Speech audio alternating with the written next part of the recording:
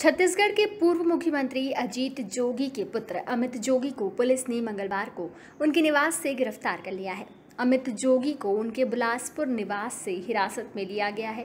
Media report के मुताबिक छत्तीसगढ़ जनता कांग्रेस प्रमुख अजीत जोगी पर नागरिकता को लेकर गलत सूचना देने का आरोप है। पुलिस अमित जोगी को गेरूला लेकर जाएगी, जहाँ अदालत के सामने उनकी पेशी होगी। जानकारी के अनुसार पुलिस मंगलवार को सुबह से ही अमित के बंगले के इर्द गिर्द अपना डेरा डाले रखी थी और अमित की गिरफ्तारी को लेकर कयास लगाया जा रहा था। पुलिस की ओर से सभी आधिकारिक जानकारी नहीं मिली है, लेकिन संभावना ये जताई जा रही है कि उन्हें गोरेला थाने में दर्ज 420 के एक मामले में गिरफ़्तार किया गया है।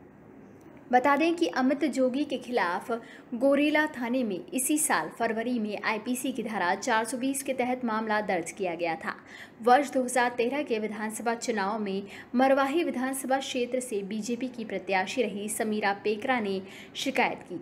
उनके मुताबिक अमित जोगी ने शपथ पत्र में अपना जन्म स्थान गलत बताया था, जिस पर गोरेला थाने में अमित जोगी के विरुद्ध धोखाधड़ी का केस दर्ज किया गया। अमित जोगी ने गिरफ्तारी को बदले की भावना में की गई कार्रवाई बताया एम बघेल पर निशाना साधते हुए जोगी ने कहा कि भूपेश बघेल स्वयं को न्यायपालिका के ऊपर समझते हैं subscribe our channel and press the bell icon for more updates.